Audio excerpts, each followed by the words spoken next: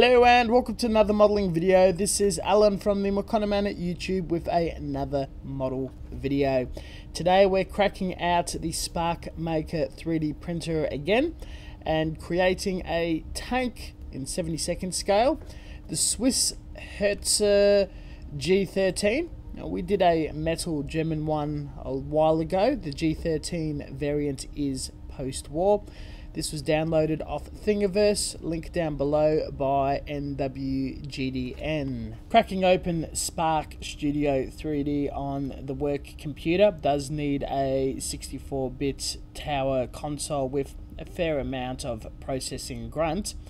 The beautiful thing about this software is you can construct your own design of supports without CAD assistance all I did was add a bunch of uh, thick supports underneath and several for the tracks as well as a barrel.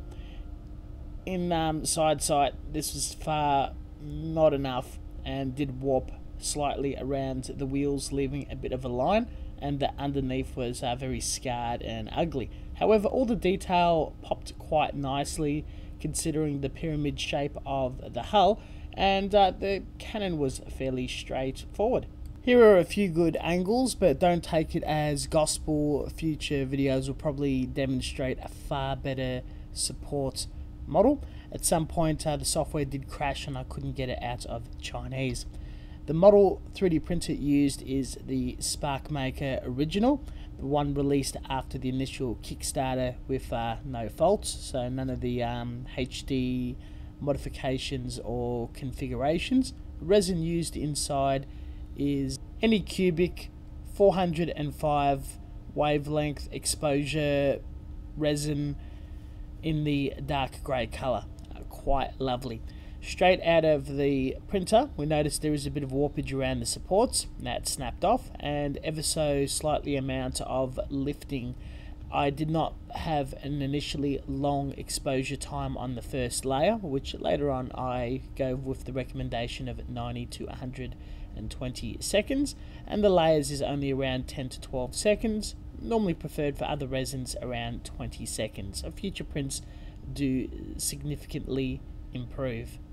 Other than that, it's very smooth and the detail is fantastic. As isopropyl alcohol is quite expensive where I am, the whole model with the supports removed was submerged in methylated spirits. With a bit of time of soaking and scrub, does a sufficient job of removing the smell and preparing it for curing. The entirety of uh, the material used is 47 grams with supports on. You're looking at definitely under $5 to create if you are importing the product. Looking at the picture underneath the tank is evident of how it has it cured properly from the 3D printer. You can see some of the layers of resin tearing away, but eventually building up into a solid piece that we're enjoying right now. These sheets were cut away and sanded up after curing. The cure tank is just a standard nail salon piece with UV LEDs or tubes inside. This was bought off eBay for around $20. The model spent a few hours in the curing tank, being flipped on multiple sides a few times as it's quite big. The chamber is very small. From this point onward, it's pretty much treated as a solid resin model kit with standard procedures of covering areas with uh, putty that's imperfect the very rare panel had some steps for some bizarre reason, again, mostly due to the supports and how I processed the whole thing in Spark Studio. The model being uh, cured doesn't require washing like a cast resin model. There is no residue or release agent. Everything was just immediately sprayed with Tamiya primer straight out of the cure tank. There's no lifting or adhesion problems with uh, imperfections, mostly on the side of the barrel for warpage and underneath. This was covered with uh, putty and sanded with an overall sanding and buff. Across the whole model with a range of sandpapers from a harsh 120 grit all the way to 2000 all wet. Still being a resin model, airborne uh, dust being cured by uh, chemically setting or exposure to UV is fairly carcinogenic in dust form. This model and its stowage is actually based off a surviving version of this tank in real life. The reference picture is at the start of the video. Fortunately, it is in the German grey colour, which I struggle to find too much interest in and draw the eye to being either far too dark or interesting. The model is painted via airbrush in lacquers. Starting from the primer base, I built up both the underneath and top in German grey and lightened it up as we work up the panels with a range of greys to detailing the panels and stowage at the very top in a dust playful manner. Further shadowing around the wheel wells underneath the barrel and the very bottom was done with clear black or liquid smoke. Detail was picked up via brush, again with lacquers, uh, burnt iron and uh, wood colours according to reference materials found around the stowage. The whole model was coated in a black sludge wash by Tamiya, a gloss coat. Next day, a bit of weather pigment with uh, MIG pigment and Cerative, a bit of a wash on the top, and more heavy buildup of pigment around the wheels and underneath the hull and chassis. Finished off with a bit of a drying time and a couple of coats of uh, matte, still leaving a satin-ish sheen behind as a quick build and not wanting to spend too much time. The finished model, even though looks very close to the reference picture, is a bit uh, mediocre in my opinion. It's just uh, very quick to demonstrate the ability and how successful 3D printing small armor for wargaming, collecting, building, or dioramas, especially rarer designs, is very possible, and in the weight of the material, far cheaper than buying injection molded plastic kits. We will compare it to an actual model kit at the end of the video. However, the selection of uh, file, I was a bit uh, naive and overly ambitious with a whole tank design, wheels and all. The supports were completely insufficient, but there is whole collections of models where the wheels, the turret, and the body is uh, separated for far easier prints. Considering the imperfections and warpage of the print, it actually looks excellent to display regardless. I do encourage if this is your first video in SLA or DLP printing, especially on my channel, I suggest checking out my review on the Sparkmaker. It is the current cheapest manufactured model on the market, which you can buy off Amazon or eBay from China.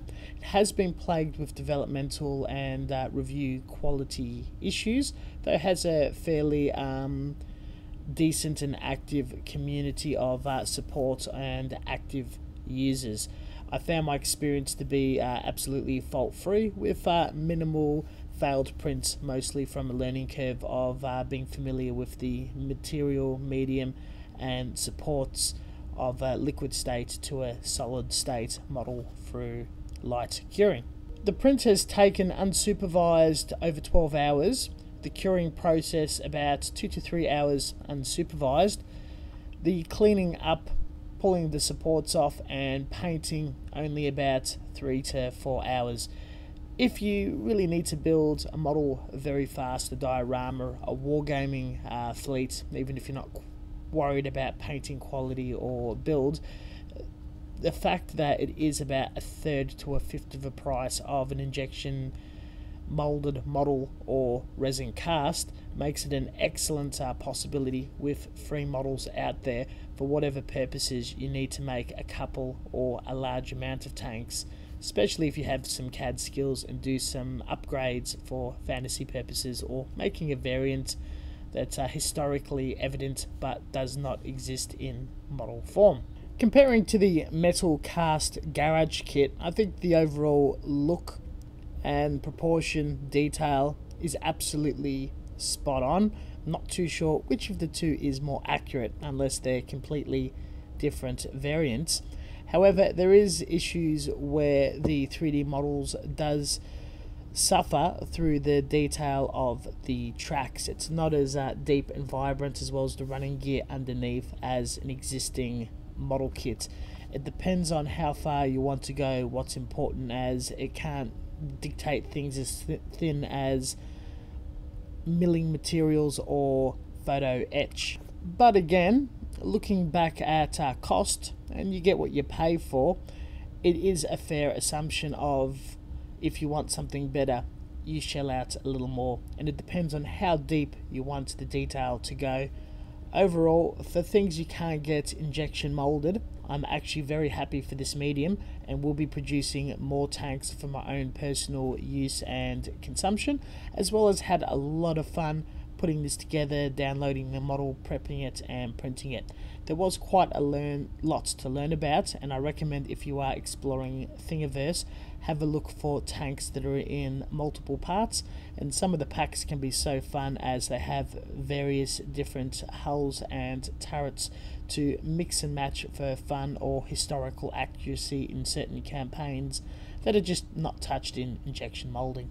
All in all, that is my finding with this form and medium of 3D printing. There is a more in-depth video coming along doing a character figure and exploring more tips and tricks I've learnt with the Sparkmaker as well as printing in general. Look forward to it. Thank you very much for watching as always. Until next time, stay tuned for further content. All links and files are in the description section below. See you all later.